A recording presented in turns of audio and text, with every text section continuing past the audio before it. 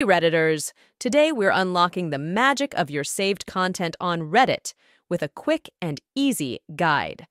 Whether it's a post you want to revisit or a comment that made you laugh, this one minute guide will show you how to access saved items on Reddit. Let's dive in. Start by opening the Reddit app or website and signing in to your account. Make sure you're using the latest version for the most up to date features.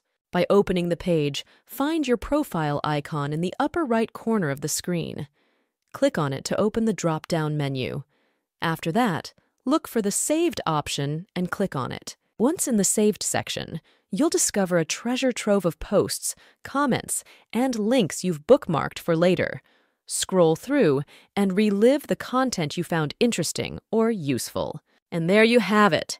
You have successfully accessed your Reddit saves.